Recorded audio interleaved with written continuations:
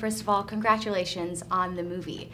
Um, I just saw it a couple days ago, and it's truly like one of the best movies I've seen in a long time, just in terms of it's just a feel good movie, even at times when it made me cry too. Mm-hmm. Um, but what was the set like? What was that dynamic on set like?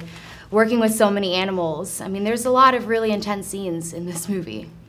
It was challenging. I mean, it's, you know, uh, but I think that's sort of appropriate for the movie. The movie deals with these challenging life moments, and this family's really going through something, and so it probably only helps when, you know, it's it's uh, we were on location and um, it's hot, and you're waiting for dogs, and and you know, but uh, but it was also fun and a great group and a great director, and um, and you know, yeah, team. you had some of those action-packed scenes yeah, of those animals. Yeah. Um, I every day I was astonished at how well prepared they were. Yeah.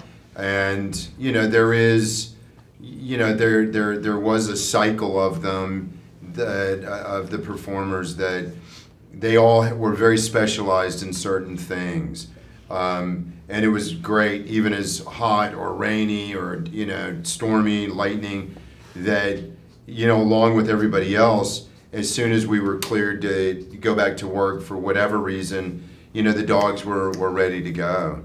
And uh, yeah, you know, like I, I, have sort of a big action sequence, and we used uh, a couple of, a few different dogs for that sequence. But I really, I was just, I was, and I've worked, I've done several films with different kinds of animals, including dogs. In fact, I've worked with a Belgian Malinois before, and you know, they're just they they they move at a speed uh, that you know just everything they're processing is just it's it's just it's kind of awe-inspiring.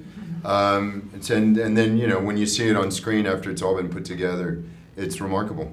That's great. Um, now your characters are essentially dealing with every parent's worst nightmare. I mean, everybody says that. There's nothing like the loss of a child and Lauren, your character especially, it's kind of like the mother we all hope to be when we grow up and just being like the what's holding this family together or trying to at least. How do you how do you prepare to portray that on screen, that kind of loss?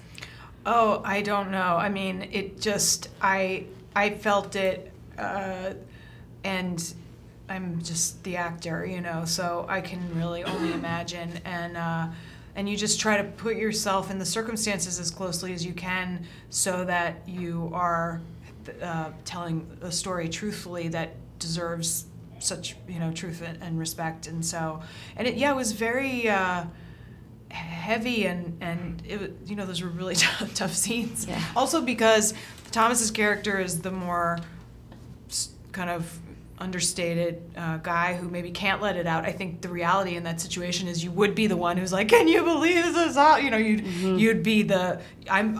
You have to carry all the emotion. Uh, or, or more of it, I think, in the face of someone who doesn't express themselves quite as much. So um, I just tried to think about that dynamic. Mm-hmm. Yeah, definitely. Well, thank you guys so much. The movie is incredible. We can't wait to have it on AMC screens.